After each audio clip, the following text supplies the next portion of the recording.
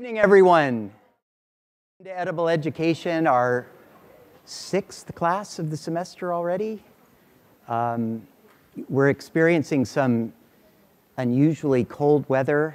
Um, I wanted to show you what's, a, what's alive and blooming in the garden this week. This photograph is a Ribes sanguineum, which is a um, currant, a red currant. It makes these beautiful berries. The flowers are edible, and um, some people think medicinal, and they, they trace themselves in terms of their usefulness, these flowers, uh, back to indigenous communities. So it just has a very brief bloom like this. I captured this shot this morning in front of these palm fronds, which make it look particularly tropical. Also in the orchard right now is the um, Prunus salicina, also known as the Santa Rosa plum. Uh, I don't think the class will still be in session when these are fruiting, but I just wanted to show you what's coming. This, the, the, the, uh, the stone fruit in the orchard, they require what's called chill hours in order to set up the fruit. You need like 400 hours uh, during the winter where the temperatures are below 42 degrees throughout the night. And if you don't have that, you don't get the fruit. And what's interesting about this with the uncertainty about the climate and the warming temperatures, a lot of the fruits are kind of at risk for where they're, they're planted. And um, so the other thing about this tree, it's really great pollinizer for all the orchard. You need trees that um, really attract a lot of bees, and this is one of them. And I also just wanted to mention Luther Burbank, who uh, lived at the early part of the 1900s. He was known as the Wizard of Plants, and he was a, um, a botanist and a plant breeder. Have you ever heard of the Burbank potato? That's probably his most famous creation. But he lived in Santa Rosa, California, and he was an incredible self promoter.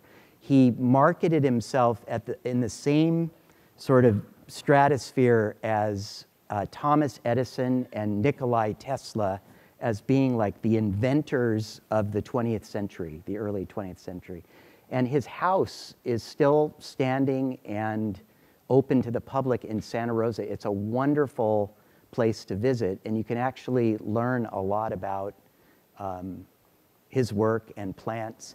The other thing that's happening right now are the seeds are sprouting. And uh, this year I collected sunflower seeds from some of the most robust sunflowers in the garden. And one of the wonderful things about gardening is that you um, can be pretty self sufficient once you get going if you've started with a good seed stock, these seeds here are all sunflowers, different varieties of sunflowers, and I have to start them in the greenhouse for a couple reasons. One, because it's warm and they're protected, but most importantly, the birds, the birds are amazing. The birds will eat the little sprouts. Um, they just don't have the foresight to wait for it to spring into a giant plant with thousands of seeds.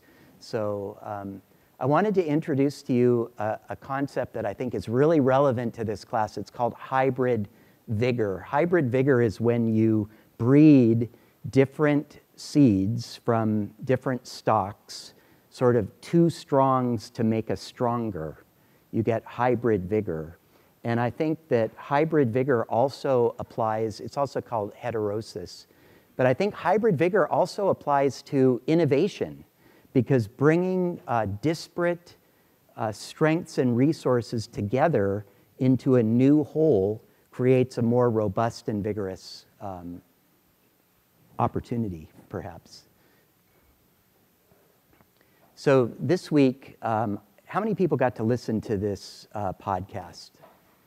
Old Ag New Crops. If you haven't listened, please do. It's, it's, it's really wonderful. The, the way it sort of fluidly um, travels around the food system, starting with kind of cultural and indigenous issues, and then traveling up into current day agricultural practices, and then it goes into the market and trying to create the market for regeneratively farmed products. It's, it's really fascinating. And the other thing that's fascinating about it is that it's created with a lot of hybrid vigor from Berkeley uh, alums. And um, Sandeep Pahuja, who is the creative um, catalyst behind it, got his MBA here. Liz Carlisle, whose article you also read about this week, she got her PhD here.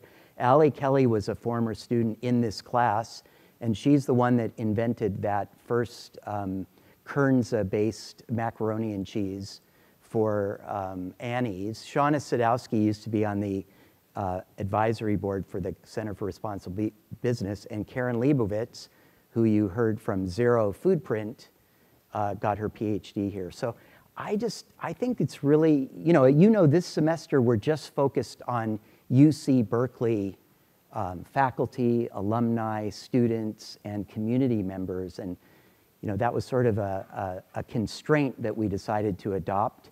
But I think it plays out to show how robust um, the, you know, the change makers are that are out in the world impacting the food system. So here's to Cal. Also um, wanted to showcase some of our other food systems change makers who aren't in the class this week or next week, but there's a number of students that are doing really interesting things in consumer packaged goods. So um, doing um, milk teas and um, upcycled fruit juices and seaweed and um, some bioengineered foods and, some, and decolonizing the spice trade at Diaspora Co. We had the founder of Diaspora last year um, come to the class.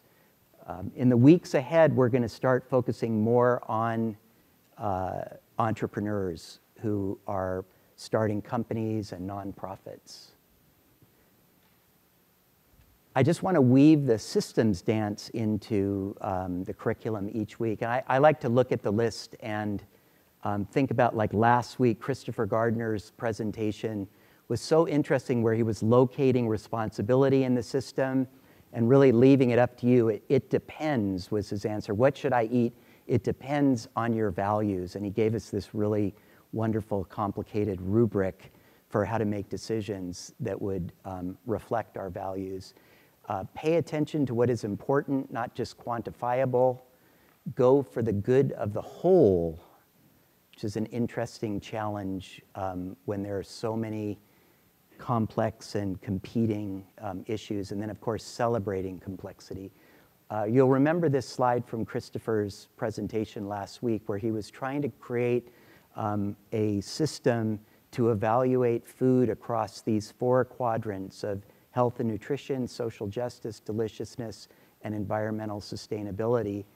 And one of the, I think the things that surprised me and when I read your um, reflections for the week, surprised many of you was that um, organic foods uh, were not necessarily uh, healthier than conventionally farmed foods.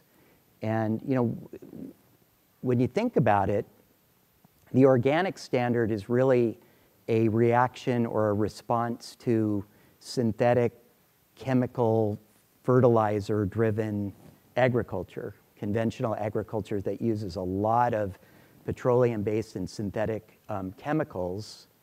It's not really focused on nutrient density. Um, so it's kind of a, conf- you know, we think, okay, if it's organic, it should be better for us. Well, it's or- it may be better for us with respect to the fact that it doesn't have a lot of chemicals. One of the things that Christopher didn't talk about was that by um, continuing with conventional agriculture, it was creating concentrations of power which have continuing political issues in terms of creating more equitable, just uh, food systems. So, a couple of you, I just want to thank you, those of you that um, pointed this out. Um, a couple of you have discovered this new book and this new research, which it has come out just very recently this year, subsequent to Christopher's assessment of the literature. But David Montgomery and Anne Biklé have um, studied nutrient density related to soil health and soil quality and biodiversity. So it's, it's interesting because we're going to learn in the next couple weeks about regenerative practices, which are actually they're, they're sort of organic plus. They're let's leave off the chemicals and let's really focus on generating soil health. So this is a very interesting um, uh, new finding. They have a great uh, podcast. If you look them up uh, on the No Till, the No Till podcast. So tonight uh, we're going to focus on uh, food sovereignty and environmental justice, two really critical um, topics here for Edible Ed.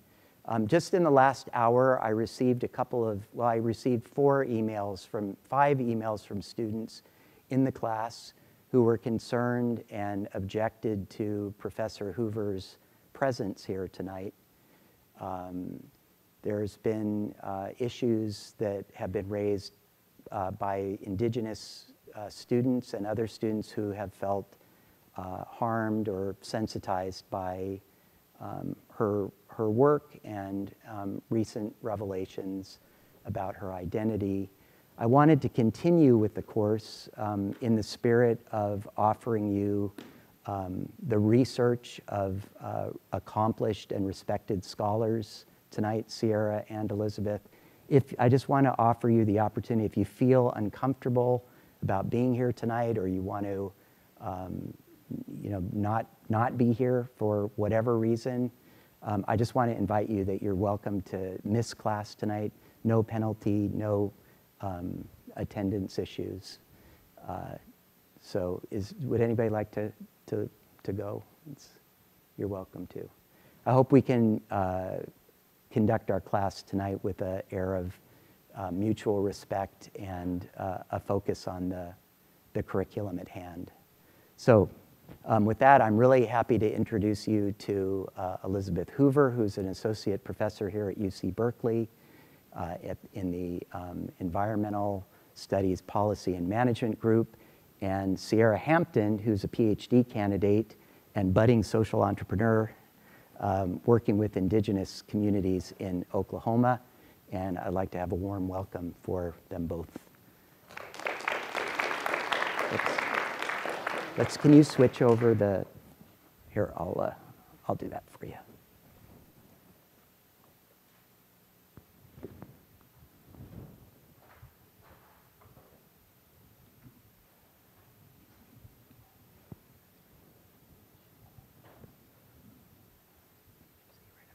Oh, great. Can everybody hear me okay? Great, thank you. All right, so I am an anthropologist by training and an associate professor in the Society and Environment Division of the Environmental Science Policy Management here at UC Berkeley. And I've spent the last couple of decades working in communities around issues of food sovereignty and environmental justice. So I wanted to kind of give you a rundown tonight about how some people are working to combine both of those things in their activism in order to provide safe, healthy food for communities.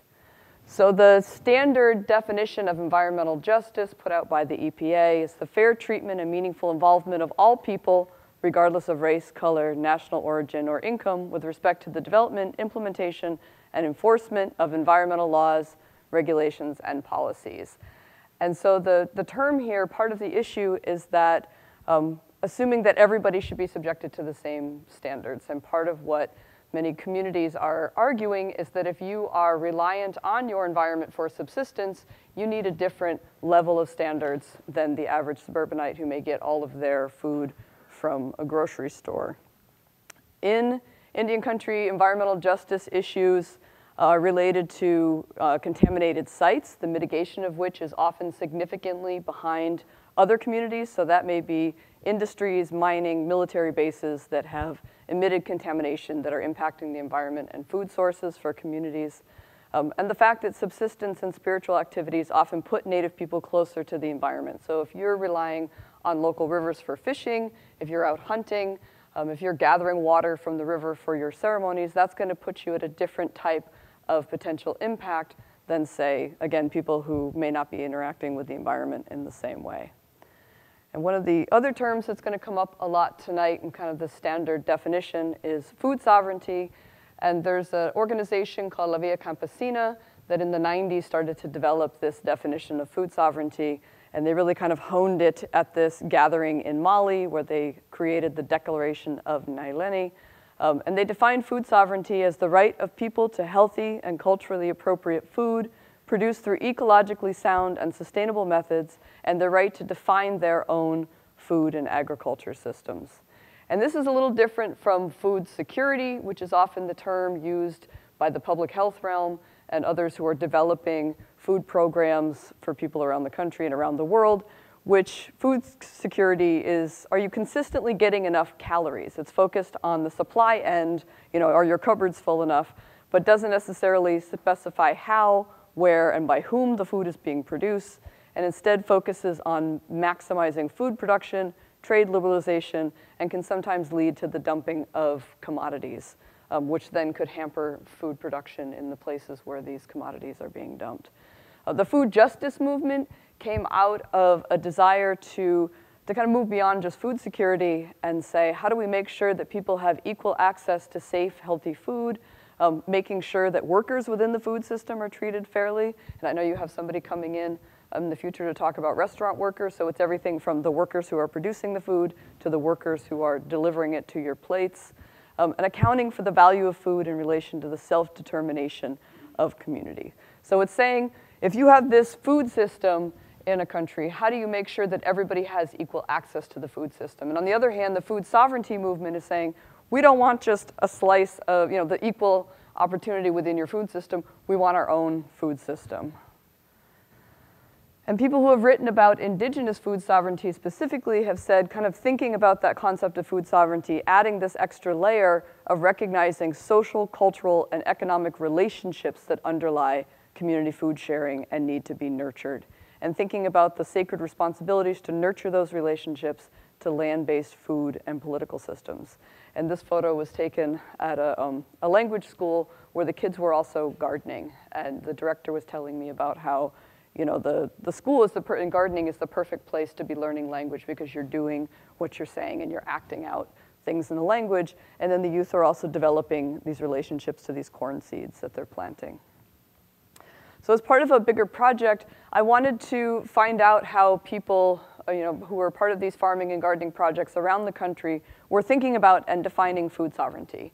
So I had been working with some different organizations for a while and then did a big road trip in 2014. I drove 20,000 miles around the country and stopped into 40 different communities to volunteer and pull weeds and talk to people about how are you defining food sovereignty.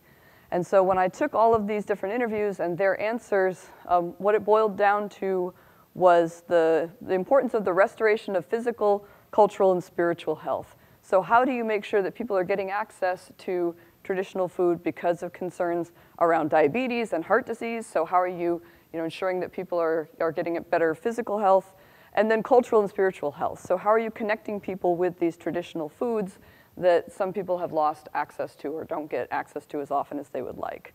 Um, there was a focus on growing culturally appropriate foods. So people were like, well, we don't want to just grow a lot of you know, kale and spinach in the garden, but we want to make sure that the traditional corn that we need for ceremonies is there.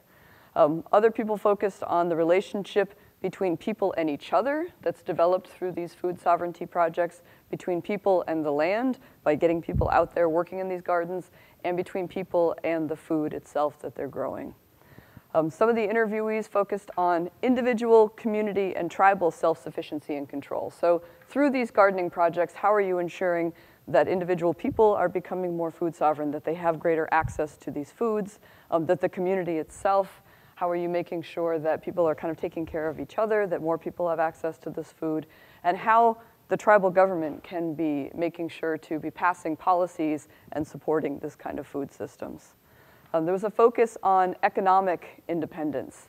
So thinking about how people can not necessarily have to shop outside of the community, but get their food from food growers right there.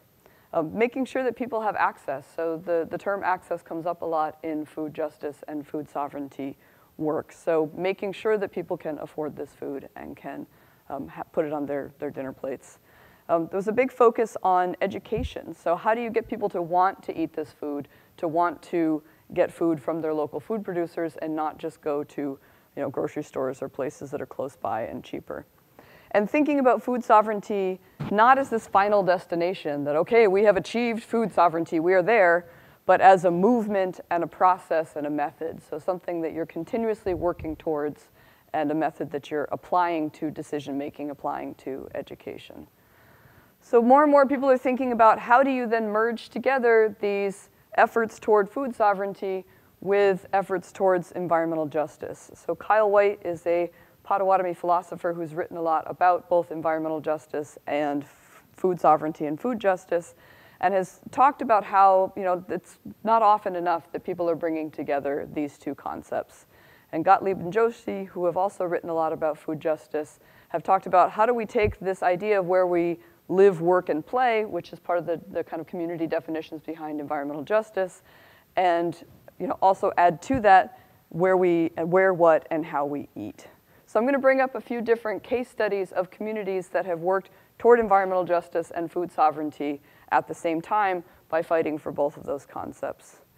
And in the first one, um, Akwesasne is a community on the New York-Canadian border. It straddles the New York, Ontario, and Quebec, and is bisected by the St. Lawrence River. And in the 1950s, they widened it into the St. Lawrence Seaway, built a power dam, and a number of industries moved into the area and leached PCBs into the river. And so people became concerned when they discovered in the 80s that there were PCBs that had leached into the river from these factories. How was that impacting food systems? Was it getting into the fish? Um, and what they found was yes, it was getting into the fish. And in addition to that, it was a Mohawk midwife named Katsi Cook whose activism really promoted a lot of these health studies and made sure they were done in a community-based way. And her concern was about breast milk. So how do you think about food sovereignty beginning not just with foods that are growing in the gardens, but the very first foods that many people are consuming um, is breast milk? And how do you make sure that that breast milk is safe for, for babies to consume? And so she really kicked off this huge environmental health study in which she collaborated with um, the State University of New York at Albany and with the state of New York. And she said, okay, we need to run these different health studies, but you can't just bring guys in lab coats up to collect breast milk from women. That's not going to fly. You need to train women in the community to collect these samples. And it led to 20 years of environmental health research in which they found that, yes, the, the breast milk of women who ate more fish had higher levels of PCBs, um, and then worked to, to help people find other sources of protein, but also to fight to get that river cleaned up um, so that people could continue to eat local food. And as part of that fight, um, they sued the local industry, the General Motors specifically, for money to restore the environment. Um, and so with the argument that as part of restoring the environment, that there was also a cultural injury. So it wasn't just an environmental injury, um, but also language and culture are impacted when people can't be interacting with the environment in the same way. So Azajidawadu was a cultural resources damages assessment program in which money from this settlement was used to hire elders like the ones you see up in the corner here, to work with apprentices um, to learn the language, to learn about trapping and butchering, to learn about farming, um, and to bring kids from the, the local Akwesasne Freedom School in as part of that. And now other tribal communities are looking to this program to say, okay, how do we then hold local industry accountable for the damage to the environment and also um, receive settlements in order to rebuild language and culture programs? So another example, moving kind of from the East Coast over to the Midwest, is different tribal communities that have been looking to protect wild rice, or manoomin, um, which Anishinaabemowin means the, the good berry. It's a grass that grows out of um, lakes, and there's a seed head at the top that people go out in canoes in the late summer and early fall and harvest, and it's been a very important food source for people in the Great Lakes for um, thousands of years. It's a very sensitive plant. And so when mines and pipelines have threatened to come through this area, people have really fought very hard to try to prevent that from happening because if that water becomes at all contaminated, the, the wild rice dies and it's very hard to reestablish it. Um, so when I was doing my, my visits in 2014, um, the Bad River Reservation, one of the threats they were facing was a taconite mine that a company was looking to put through that would take low-grade iron ore and refine it and dump a lot of the slag kind of back into waterways. And the concern was that this was going to get into these huge wetland areas and destroy the wild rice. Um, so, you know, the, the company was like, no, no, we're going to follow all of the existing laws in Wisconsin, don't worry. And at that same time, they were working to change the laws in Wisconsin that wouldn't hold mines accountable to some of these same standards. Um, so Anishinaabe people and their allies really worked for years to fight against this and to create a lot of bad press um, for this company. Folks like Paul DeMain, who you see here with his uh, maple syrup, um, created these camps, these harvesting education and learning project camps in the woods in order to try to um, convince people that there were resources here that didn't need to be extracted out of the ground. So these camps brought people from the surrounding area to learn about foraging and harvesting things like maple syrup and mushrooms and kind of gathering um, on the land as community and hosting these different um, gatherings. And there was an elder there who had been arrested for exercising his treaty rights before, and when people came in, they had to meet with him first and kind of learn about the community struggles on the land. And then they would hold these different um, feasts and festivals as a way of trying to, again, convince people that there was other uses for the land that were not so extractive. Um, and they called this Penokee gold. So the Penokee Hills had been mined for gold before, and so part of what Paul was trying to do was to say, look, here's this other kind of gold that's much more sustainable that can be um, brought out of the land. So the taconite mine um, eventually got shot down after a lot of bad press and legal challenges, um, but people are kind of remaining vigilant, to hoping that it won't come back again. There have also been a number of pipelines that have come through or threatened to come through um, that people are concerned about impacting the wild rice. Um, so the Sandpiper pipeline was slated to cut across the entire northern part of Minnesota. Um, so I joined some of these camps and, and pipeline rides that worked to try to draw attention to this space and to try to convince people who lived in the southern part of the state who were like, oh yeah, put that pipeline up there where you know nobody lives up there. And people wanted to draw attention to what was on that land and how important it was for indigenous people who were relying on that for food. Um, so the pipeline, the Sandpiper pipeline, um, got tied up in Minnesota's regulatory process for about three years and then got put on hold. Um, but there were other pipelines that more recently people have been fighting against, Line 5, Line 3, um, that did end up going through, even though people really pushed against it.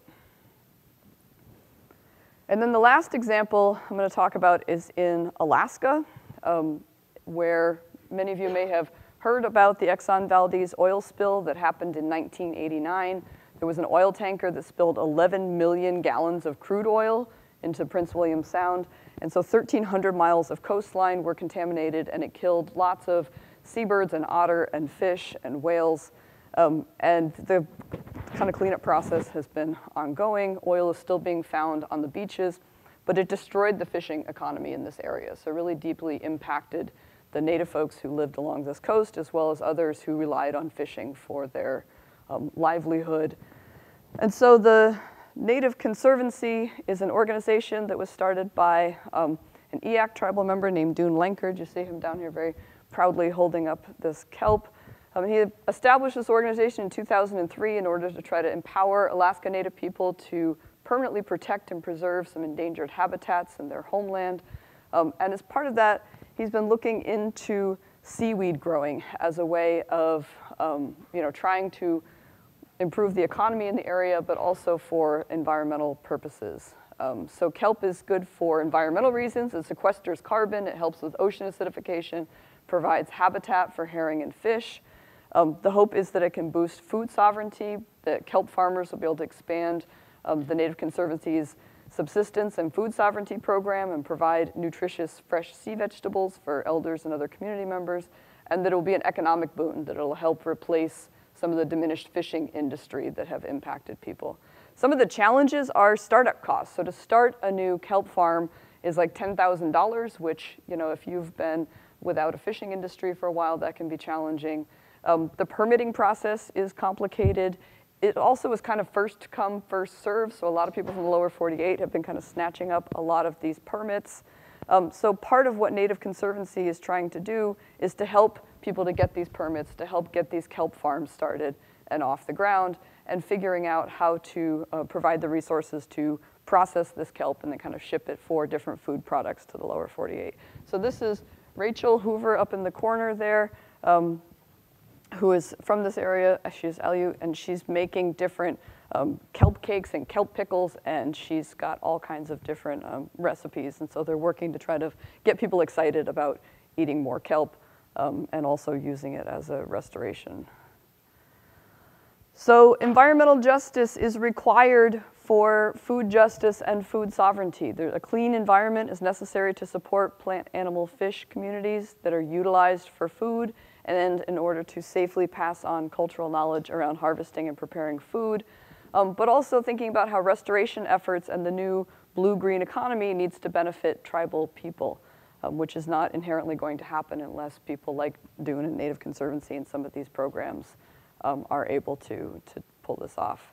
And then to just kind of leave you um, with this last quote here from uh, an article by Mary Arquette and some other Akwesasne Mohawk scholars and environmental health perspectives, thinking about how environmental justice has to go beyond equal protection. So they write that environmental justice encompasses more than equal protection under environmental laws, which would be environmental equity. Um, it also upholds those cultural norms, values, rules, and regulations and policies or decisions to support sustainable communities. So with that, I'm going to turn it over to Sierra to talk about some of her work.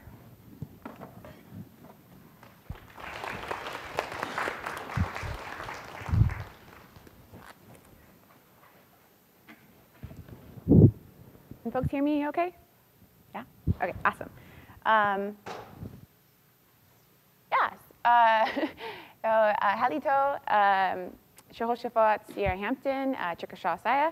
Hi everyone, my name is Sierra Hampton. I'm a member of the Chickasaw Nation, which is a tribe actually based in Oklahoma, um, but I'm actually California born and raised.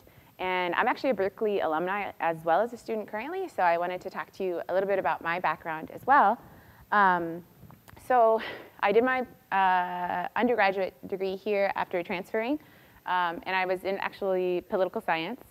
Um, and I was studying um, indigenous rights under like kind of an international relations, human rights, indigenous rights um, sort of bubble. And I was always really interested in how um, indigenous communities uh, are using activism and how they're building solidarity with other communities and other tribes, and also how they're doing sovereignty movements. So I was studying political science, and then uh, after graduation, I had um, a year, a two-year break actually, where I was working for a, a local nonprofit here in Berkeley, um, dedicated to um, youth education and the, like the achievement gap in going to college. And I really wanted to go abroad and learn about what other indigenous tribes were doing um, and, and, kind of like meet them and see how they're navigating challenges um, that maybe we're facing too here on Turtle Island. So uh, I went to do a master's at Lund University in Sweden, and I was studying international development and management. And I chose that program because part of it is um, you do a six-month internship somewhere, and then you do like six months field research. So um, I chose to do my field work in Aotearoa, New Zealand. And um, I was studying how international human rights instruments are applied on the ground by indigenous communities. And while I was having these conversations with folks, um, something that kept coming up over and over again was this importance of food, um, both to their identity, but um, also how they assert their self-determination and their sovereignty. So it got me thinking um, about my community and other conferences or meetings or gatherings that I've been to um, here and thinking about, wow, this is actually something that is really, really um, common among indigenous peoples and a lot of, among a lot of communities as well. Um, so I wanted to learn more about it, and I started doing a lot of like home research, um, just reading articles about indigenous food sovereignty and about agroecology. And I ended up um, going to South America for like seven months um, just to learn about where La Via Campesina started um, and a little bit about their agroecology practices there as well. And then um, I wanted to have this kind of question in my mind, which was how does food relate to um, your people's uh, sense of sovereignty and identity? And this was sort of a driving thought for me. Um, and I wanted to learn about it in my community too, but being abroad, I was mostly like looking on the internet for these things. And I realized it's actually um, very difficult to learn about from being abroad. And the tribe didn't have that much published about it, and there weren't really articles about this that I could access. Um, and that, to me, that was like really a bummer. I was super bummed about it, both for myself and also thinking about um, other Chickasaws, because many of us don't live in our tribal territory, but kind of all over the globe. Um, and then also thinking about, like when I have kids someday in the future, I really want to make sure that they know about our um, traditional foods and that they have it be a critical part of their identity as well. And I want to be um, a good, you know, steward of that information to them. So this is something that I was trying to look up. Um, and while I was abroad, I started um, growing my own garden as well. So I had this kind of theoretical grounding from the articles I'm reading. Um, I have this like passion and desire, um, and then I wanted to get some of this like hands-on experience as well. So I was growing about like 50 different um, indigenous varieties of foods um, on like a little less than half an acre, and I was trying to do different like indigenous and agro uh, ecological methods. So I was learning a lot about like seed keeping um, and soil health, kind of Will teed it up really nicely. Um, but yeah, different parts of the food system um, and like supporting pollinators and of course um, a lot of cooking and eating, which is like one of my favorite things also. Um, so all of this um, kind of culminating into uh, work that I was hoping would actually be helpful to my tribe. If I were to go and talk to them, um, I wanted to be able to support this thing that I'm so passionate about, right? So um, the Chickasaw Nation is comprised of about 76,000 citizens. And like I said, we live all over the world. Um, it, but our territory is in about eight square miles of land in what is now um, southern Oklahoma. But we're not actually originally from there, and I'll, I'll talk about that in just a minute. Um, but foods are really highly valued by us, our traditional foods, as part of our, um, part of our identity and our culture. Um, but there's been some kind of challenges maintaining that relationship and that connection with our traditional foods. So um, one of those things was Indian removal. And when we talk about environmental justice, a lot of times we're thinking about um, a particular community being in a particular space and then some outside force you know, putting um, pollutants or contaminants into that space. Uh, whereas with Indian removal, you have um, community living in one type of environment and one type of ecosystem, and then being completely uplifted and forcefully removed to another location, usually with very different um, environmental factors.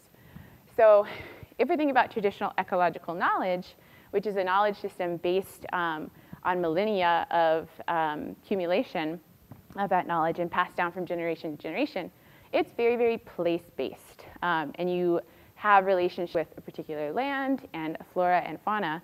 Um, so when you have Indian uh, communities that are removed to another space, all that knowledge gets disrupted, and you now have to create relationships with these different um, flora and fauna in your new location.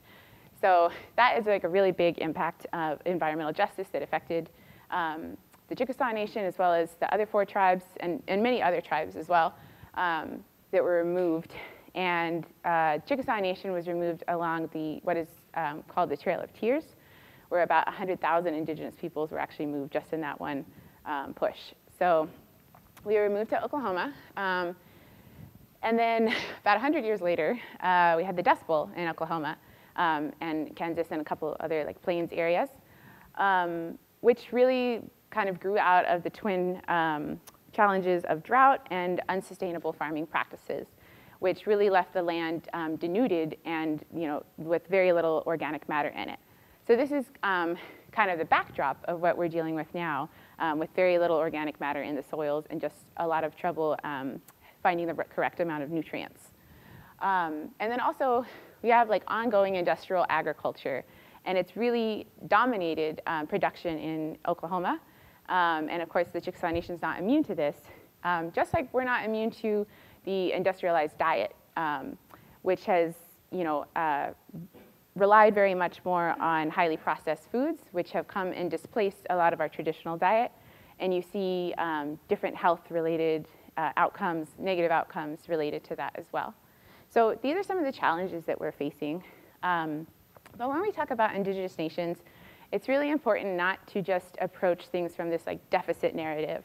uh, where you think like, oh, well, they suffered so much and this bad thing happened and they're so traumatized and that's their whole story. Um, because that's not the whole story. And so the important thing to do is to take more of a desire-based approach, which is um, considering the situation the indigenous community is in, what are their desires for the future, and what actions are they taking to make that future happen. So um, thinking now about some of the ways that indigenous communities can build up their food sovereignty. So in the Chickasaw Nation, uh, one of the methods we're using is education. Um, so, and, also continuity of our traditional plants. So if you visit the Chickasaw Nation, you can see um, a lot of our traditional and culturally significant plants that um, our tribe has stewarded throughout the years and um, just made sure that we have continuous access to and a relationship with. Um, and then you have like these little informational placards all over that tell you a little bit about the plant and about our relationship to it. Um, another way is uh, growing these plants in our greenhouses to ensure that um, we will always have them uh, as part of our relationship with, uh, in the tribe. And we actually have even been able to go and get some of our traditional plants from our homelands um, east of the Mississippi. Um, and some of them grow actually very well in the Oklahoma climate too. So that's been uh, really amazing to see and to learn about.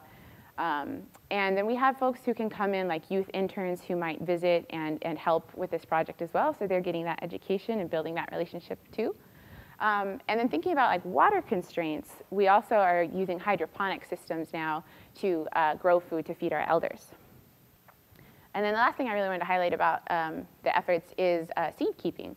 So we kind of heard some of that from Dr. Hoover as well. Um, and uh, you know, Will was talking about it, planting of seedlings. Um, keeping seeds is a way to not only ensure that like your community currently will have access um, and that our tribal elders will be able to get the resources they need to uh, perform ceremonies, but also that our future generations will have them. And it takes a little bit of this control that has been so held by the industrial agricultural system, and it takes it back into our hands. And it allows us to protect our relationship with these plants and ensure that they're cared for in a good way. So my research um, has been uh, observing these activities and learning about these challenges and opportunities um, and helping where I can. So this is me um, seed keeping with them, like going out and gathering seeds um, that are growing uh, from previous years where they planted. And um, if you look up here in like the top, you, um, I'm learning a lot about how our tribe is using uh, fire to restore the landscape and also encouraging incorporation of legumes into um, like ranchers and farmers' lands um, to try to get some of that nitrogen and organic matter back into the soil, um, or nitrogen back into the soil, and then adding organic matter as well. Um, and we're also going to conferences where we talk about with other tribes regionally about how climate change is impacting our um, culturally significant plants and what we can do about that. So these are all things that I'm kind of um, participating in and taking notes on, and I'm also doing interviews with folks too, um, all in the hope that I can gather this information and um, use it in iterative, uh, to create iterative questions with the community about things they really want to learn and know and that will be useful for them so that my research won't just kind of languish in academia, but it's something that can actually be applied and useful to my community. Um, and then just quickly, I want to say why I came back to Berkeley for this. Um, so I had actually approached my, uh, approached my tribe before I even decided to do a PhD. I said, I'm considering it but I would really like to work with you regardless.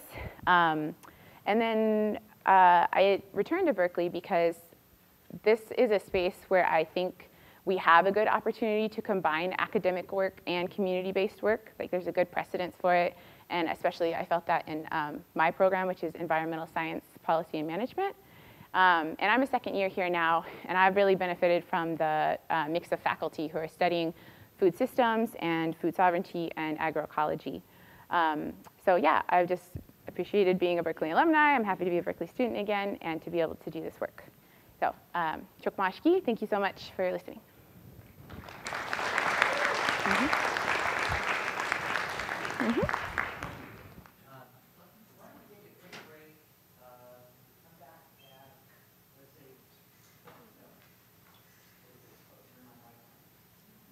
My mic on. Okay.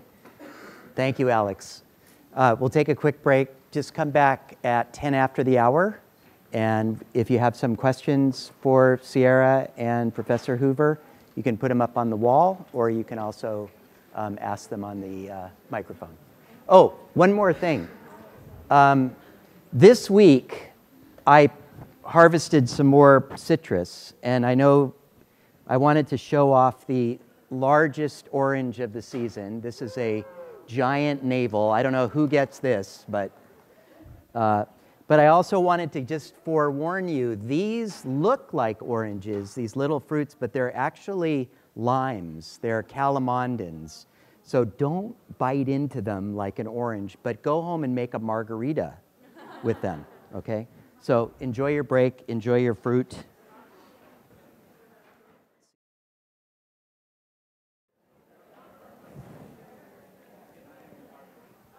You know, I was. Um, how many of you, how, how many, who, who here has plant, planted a seed?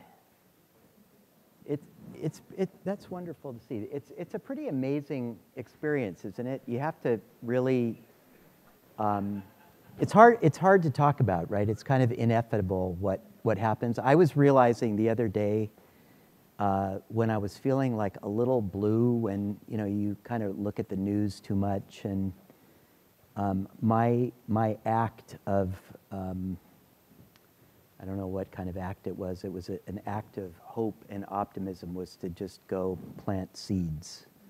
And um, it's pretty miraculous what, what happens. And they also really, this word tending, which comes from the word attention, attending, is so integral to um, caring for seeds and plants and, and nature. You know, I, I, Sierra, I really enjoyed seeing those um, images. You showed an image of like a circular garden. Can you talk a little more about that? That, that looked really interesting. Yeah, um, so it's called the Spiral Garden, and it's uh, our biggest native plant garden that we have. Um, and it was actually designed um, by like an indigenous artist. Um, and a lot of our things are spiral, um, mostly related to our traditional uh, homeland in near the Mississippi River. Um, and when we draw the Mississippi River, it, it's kind of like uh, the waves crest over and then spiral into the next wave. Um, so that's like a, an important symbol for us. Um, so someone designed the garden that way, and also so that people when you're walking through it, you really have to spend a lot of time kind of going around um, through the spirals too. So, mm-hmm. The spiral appears in nature in a lot of places, in plants, in the sunflower, the, this Fibonacci pattern, this unfurling. So such an interesting energy. Yeah. Um, one of the readings that we had this week was really about um, this rise in regenerative farming and its connection to indigenous practice is sort of being, you know, presented as a brand new thing with 10,000 year old history. Um, and you were talking a little bit about the um, nitrogen fixing, this transition to, or the need for more legumes, uh, both in the soil and in our diets.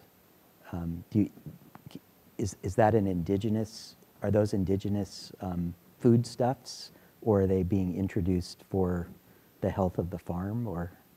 Yeah, that's a great question. Um, part of my research is looking at like where our knowledge is coming from because yeah, we have traditional ecological knowledge, um, but of course we have knowledge that's coming in from other sources. And that's kind of what um, agroecology looks at as well. It's um, looking at how indigenous knowledge and, and more like this Western science model can work together um, which is why I chose to like apply that, um, that frame. Um, and so with the legumes, I mean, that's something that's been, yes, practiced um, by so many tribes all over uh, the world, really, um, where you have this relationship um, where legumes support maybe structurally, but also with nitrogen in the soil for millennia. Um, but it's also, of course, something that's been noticed by um, Western uh, science as well and is now being incorporated into like ideas of regenerative agriculture. And I'm sure you'll learn more about that when you have the speaker come. Um, and, you know, uh, so it's a little bit hard to say like where it's being attributed directly now. Um, you know, did the folks learn it like at a, at a modern university or is this just something that we've always known? So that's kind of one of the things I'm looking at. Um, but it's definitely something that has roots in indigenous communities um, as well as, you know, being picked up by, by Western culture now. And Professor Hoover, how's your research um, proceeding these days, unfolding after your 20,000 miles of travels across the continent? Yeah, well, that also, I don't know if you want me to, to touch on some of these questions If- here sure. um, that folks have had about kind of how that is going to be unfolding um, after finding out some things about my family and my background. So, to give you some context um, to the announcement that the professor made at the beginning of class, um, over I've spent my entire life identifying as a Native person because that's how my family raised me. That's how my parents raised me to be proud of that ancestry. We spent a lot of time, um, you know, participating in powwows and ceremonies and events, and working closely with communities. And this was the identity I was raised with. And this past summer, um, somebody approached me who had done a lot of research, genealogical research, archival research um, into my family, and said, you know, none of those folks are on these tribal rolls. You don't have the documentation to back that identity that you were raised with. And this was a shock not only for me, but for my family as well. This wasn't something that I, an identity that I fabricated. Um, this is something that I was raised with. And so I put out a public statement, um, kind of hoping to start this discussion of this is what I'm going through. I'm going to step back and I'm not going to identify in this way. Um, and some people took it very differently, and it triggered a lot of people, um, upset a lot of people, and really kind of started this huge firestorm. And it's, it's been a mess. So, what I'm working through now is um, listening and trying to, to figure out who has felt hurt by this and how and why. Um, there are currently restorative justice circles happening in our department to give people the, the space to come together without me to talk kind of among others in their, their cohort about why and how they've felt harmed by this. Um, and then there'll be circles that will kind of bring me in as well so that I can hear from people so that I can figure out how going forward to, um, to make amends in those ways to the students who are here who have felt harmed.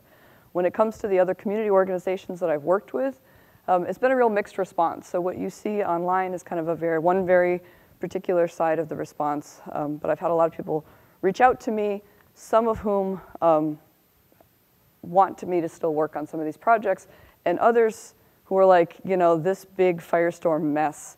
We don't want that impacting these organizations. And so most of the boards that I have worked on, I stepped back from because I didn't want this controversy to impact them. Um, so going forward, working on these different food sovereignty projects, for right now, for the people who still want me working on these projects, I'm kind of doing it quietly behind the scenes um, so as not to drag any of this mess and controversy into that work that's being done, but to still where people want my labor to contribute that labor, whether that's in helping to design surveys, whether that's being in gardens, pulling weeds, planting seeds, that kind of thing. Um, and so somebody asked here, you know, am I going to publicly apologize? At some point, when I figure out how to appropriately do that, when I hear from folks um, about how they have felt harmed, and I know the best way. I don't want to just throw an apology out there to make some people happy because other people have said to, you know, have been very adamant to me, like, no, don't, and you don't need to do this. And um, other people have very much felt that they need an apology, and so I want to make sure that the next public statement that I made is done um, thoughtfully and taking all of these different um, feelings and, and um, harms into account. So that's kind of, so going forward, again, there's some projects that I'm continuing to work on, um, you know, around recipes, around kelp, around some of these other things. I had a book that I spent eight years working on based on the, the road trip as well as you know interviewing 30 something chefs and spending months in different pipeline camps and cooking for folks um, and so rather than put that book out in its current form i'm going to go back and talk to all those folks again and find out do they still want to be part of this project um, knowing all of this going forward. And I will update and revise that book and then put that out there. So kind of that's where my, my work in the food sovereignty movement is, is headed from here. Thank you.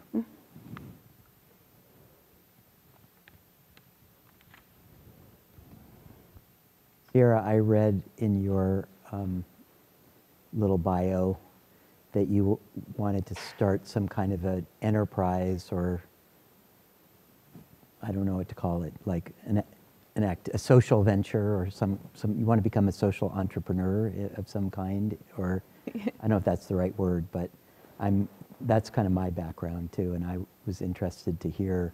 I, I really love to explore this kind of transition from the academy into the world and translating research into action and impact.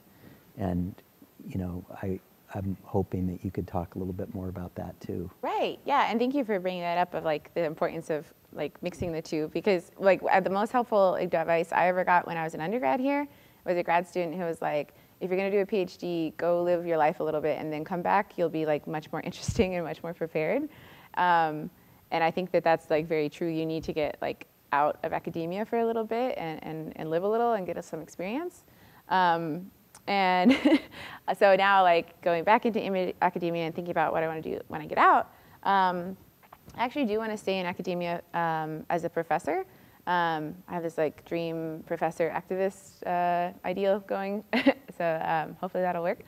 But for the yeah, what you're talking about, um, kind of wanting to start like an, a, an NGO um, with my tribe or in, in our tribal territory um, that would help uh, youth, like do maybe like a summer camp with youth where they would come and be able to grow um, different plants and learn about um, how they're grown and all the things that go into that, like soil health and pollinators and um, just being good stewards of the land. And then also um, how to prepare that food in a way that is, um, you know, efficient and accessible for a lot of different communities. Because even, you know, within the tribe, there's variation, and um, you know, affordability is an issue, time is an issue, all of these things. Um, so being able to prepare it, and then also um, connecting them with elders who can tell them some of the stories that they remember from preparing and growing these foods as well. Um, so having that be um, a program with youth is kind of recognizing that, that youth can be, and, and often our um, studies show like big change makers in, in the food system and in, in their parents' diets as well, because they're learning these things and then they go home and they tell their parents about it and they prefer these certain foods. Um, and they maybe like even shame them on some like practices or encourage them on others, and then um, the whole household starts to shift.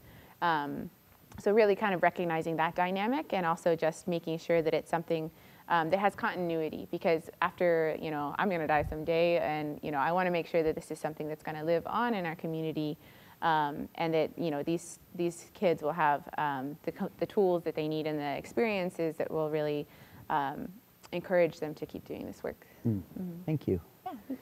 Maybe could you talk a little bit about the pressures from the commercial world on seeds that that are um, threatening uh, food sovereignty? I mean, Michael Pollan was here a couple weeks ago, and he touched on we were touching on the concentration of power, but we didn't really elaborate on seeds. And in the and in the seed world, it's pretty intense. So maybe you could fill us in a little Yeah, on that. seeds are, are complicated, and especially for communities that are working specifically with heirloom seeds. Um, there's some real controversy about whether you should sell seeds. So if people are thinking of seeds as relatives, should you sell and exchange your relatives?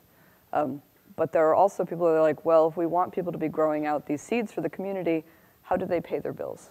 Um, you know, they can't just send in some seeds to the electric company to cover their, their bills. So how do you make sure they're taken care of? Um, so there's kind of a robust seed exchange network. Um, I was just on the phone with a, a friend the other day who is in Oneida, Wisconsin, whose family um, is part of this corn growing cooperative. And part of the way that they got around not selling seed was processing all of this corn into food and selling the food. So selling it as soup corn, as ground corn, um, selling the soup itself. Um, but yeah, there's, there's controversy, especially when outside corporations, um, seed companies, have kind of you know collected indigenous seeds and then sell those seeds along with the indigenous names and stories as a way of promoting those seeds, but the profits just go to the seed company and not to the communities who stewarded those seeds for a long time. And patenting them too. So that's been a concern. Um, and, and part of what's complicated is thinking about um, how then do you prevent that from happening? You know, the patent system is complicated. And, you know, there's been a lot of, you know, talk round and round about how do you, um, you know, patents are generally held by individuals or by corporations. And, you know, years ago, so it was the Diamond v. Chakrabarty Supreme Court case that led to the ability to patent life. So he was a, a researcher with General Electric. He developed a bacterium that could eat um, PCBs and contaminated oil and wanted to patent that bacterium.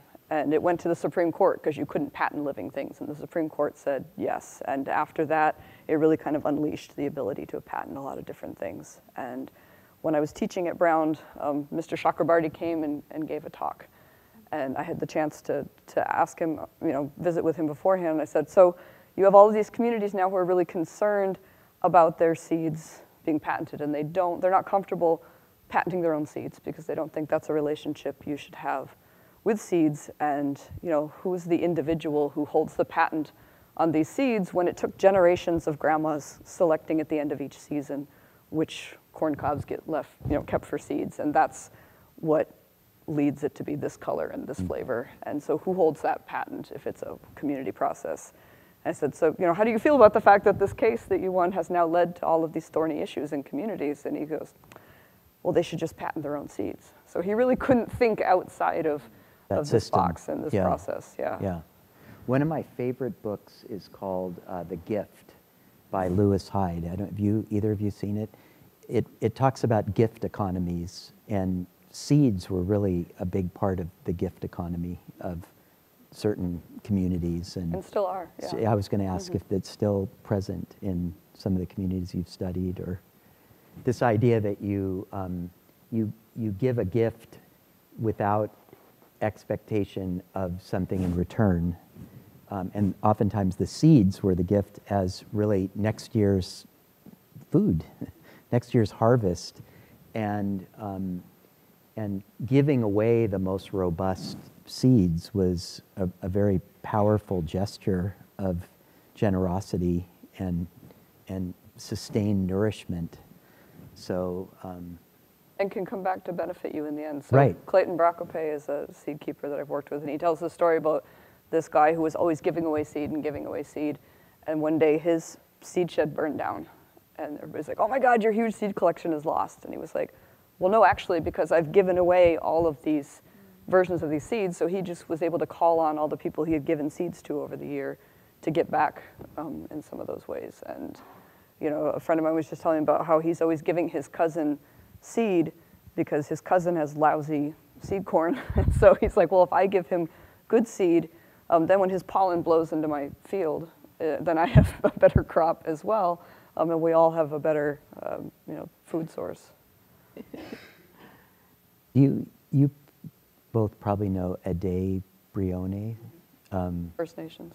Mhm. She came to speak at the class a few years ago, and she talked about how the children in her tribe are brought up to listen to nature with really deep, deep listening. And um, listening to her speak kind of changed my whole relationship as a gardener because she really described that the plants really have voices and that if you listen carefully you can hear you know sounds a little different to a western ear but when you start to try it it's it's really interesting do you have practices like that in your community at all or Yeah, definitely. Um, I can't say that it's. I mean, there's there's challenges, right, with carrying that on, um, and there are like other competing things to listen to now, right?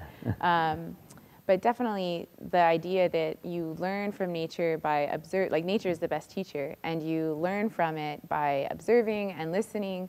Um, and seeing how these different, um, how this system works and how different relationships between like animals and plants or between different plants or the soil and the plants um, how all these things are connected. And you do that by spending time um, in, the, in the land and in that space. Um, so definitely, I think it's still, it's still a very big thing. Um, and, and then trying to get folks to have that time and have that uh, mentality is, is something that's ongoing. Yeah. I was wondering too if you could share a little bit more about where food sovereignty is being studied. Is it, are there other folks on campus working on this topic? Are there other schools? Um, you know, where are the University of clusters? Arkansas has an amazing master's program that's geared toward, it's a policy, and it's geared toward helping communities write food sovereignty policies. Um, a lot of, so for federally recognized tribes, um, they're able to write their own policies around um, environment, food, that kind of thing, or they can adopt federal policies. And often, tribal communities will just adopt federal policies because they don't have the resources or the, the know-how to kind of write similar types of policies. And so part of um, what that program is doing is to, to help people think through and write policies specific to each community as a way of really promoting food sovereignty in that way. So are there other, besides University of Arkansas, other programs or? Humboldt State is a um, Humboldt food State? sovereignty lab. Just, what, just for the students to, Mm-hmm. to know where to, wh- where else to look for resources.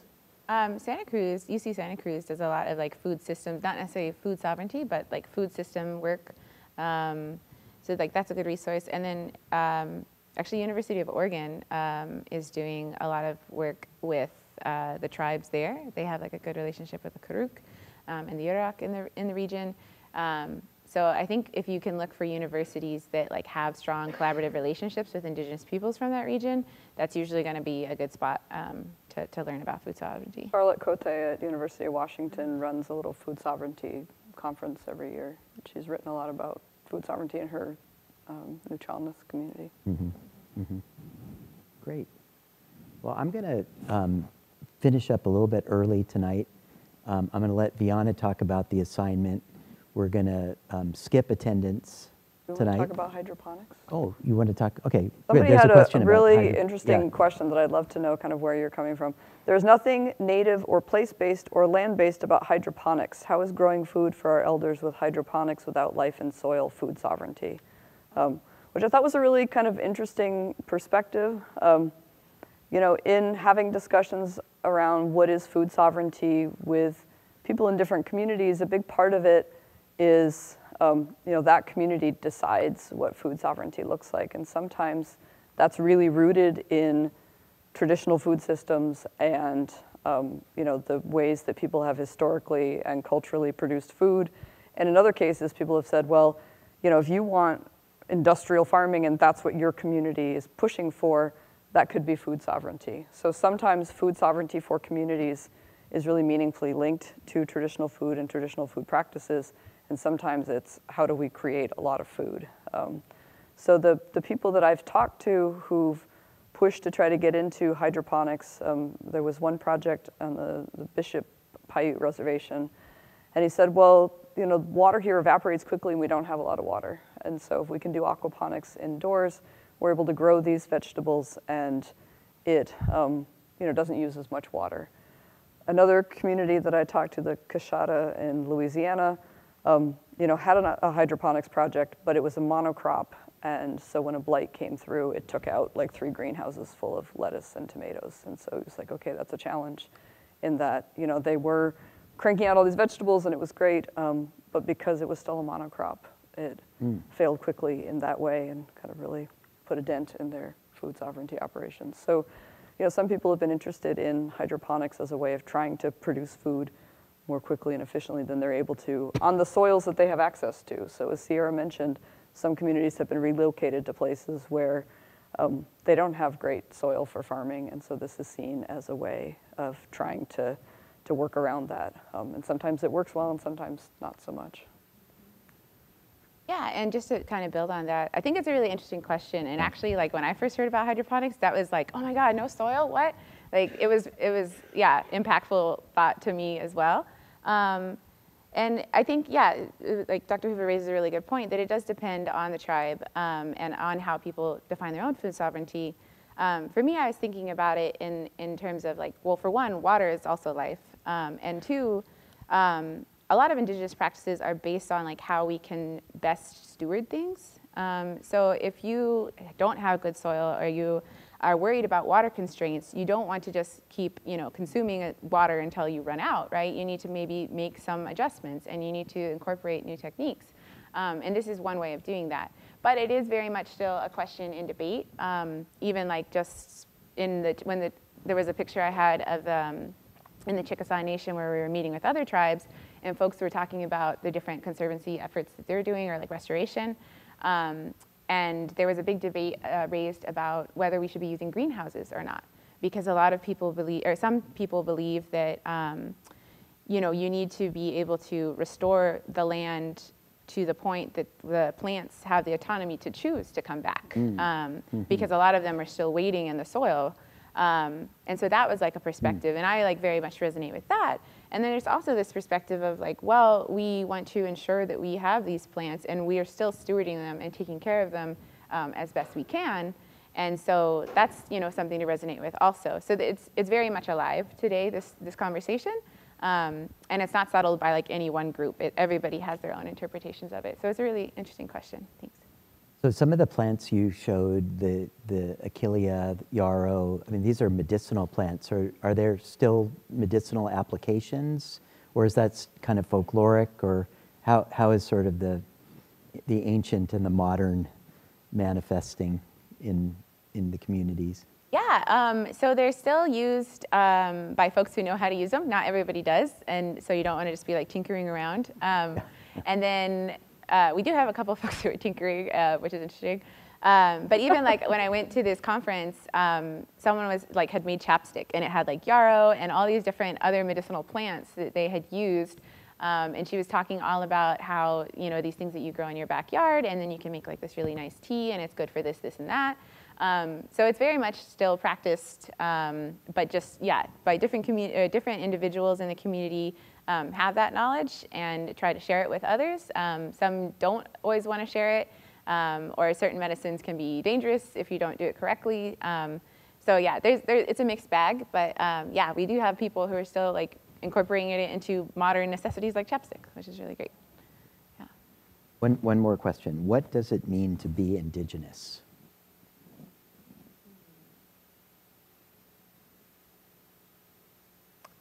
That's a very interesting question. um, well, for I think it's different for everyone, um, but for me, uh, it means like a responsibility and to honor the relationships that um, I have between like my community um, and between my family and other Indigenous peoples, and I think it means um, you know a relationship with um, with plants and animals and just nature that has provided for us, um, to be grateful for that and to try to do my best to, um, to reciprocate. Um, and I also think it means to be in relation with other indigenous communities as well. So, um, you know, my tribe is from Oklahoma, but I grew up in California. So one of the things I try to do um, is ensure that I can, you know, bring awareness to issues and try to support issues that are affecting people here. You know, like we have the Ohlone shell mounds. Um, that's an issue that is like very, very important to the people who, you know, whose land we're sitting on right now. Um, and then also, uh, like one of the other, so this is like my main dissertation project that I talked about, but I also work um, on fire and the use of fire by different tribes um, and how federal recognition status influences um, their ability to use fire. So I think like supporting fire and, and getting that, um, trying to raise awareness about that and be supportive of tribes who are trying to restore fire um, or grow their fire programs is also something that puts me in good relation and is just um, what it means to be a good guest on, on another people's lands. So I think having that awareness um, is also an important part. Yeah. You want to add anything to that? I think building off of um, just this question here is about what does it look like to be an ally? And so what you were saying about supporting um, the issues that are important to people here. Somebody asked, what does it mean to be an ally in the movement for native food sovereignty and what can students do to learn about local efforts? And a lot of the projects that I went to visit um, were in native communities but staffed by AmeriCorps Vista workers or other um, non-native folks who were farm managers. And you know, some of the farm managers I talked to were like, okay, my job is to work myself out of a job. You know, how do I train other people to be able to run this farm without me? Um, but the, the, you know, people welcomed the AmeriCorps Vista workers because the labor was needed. Um, they just, they needed people to help organize and pull weeds and plant things. Um, so what can, where can students go to learn about these local efforts? You know, here in the, the Bay Area, we have another professor who was asking, and um, you know, there's the Indigenous Permaculture Group that's looking for volunteers sometimes. The Cultural Conservancy has a, a farm that uh, is geared toward producing food for Native people, and they're looking for volunteers sometimes. Um, and so I think, you know, in your own communities where you come from, there may also be uh, organizations that are looking for that extra bit of labor. You know, over the years, I've had students do projects for some of the organizations I work with that are kind of gathering up different policies and writing policy reports that communities have then used to kind of, you know, shape um, projects going forward and, you know, working on grant applications. Um, so there's that kind of desk work that sometimes isn't as exciting as the being in the garden work, but is also can be helpful for you know, grassroots organizations trying to get off the ground. Yeah, and just to add to that real quick too, I think um, a really good starting point is also um, tribal websites. Like so many tribes have their own website and they're usually very forthcoming about the challenges that they're facing and like their top concerns. Um, and there's usually some sort of direction on what you can do to support. So like just go straight to the source and, and find out from them um, is a really good option too. Yeah. Thank you. Um, I also want to thank everyone in the class uh, for being here tonight, and I also want to thank you for your really generous and thoughtful uh, reflections and uh, what you're writing. I mean, I reading it each week really inspires me and gives me a lot of hope, and um, makes me uh, feel really positive about what this group of uh, students cares about and um, wants to uh, focus their energy and attention on. So I just want to thank each of you for, um, for what you're sharing. And I also want to thank the teaching team. And Viana, you can uh, take it away. So let's have a, a, a thank you for Dr. Hoover and Sierra. Thank you.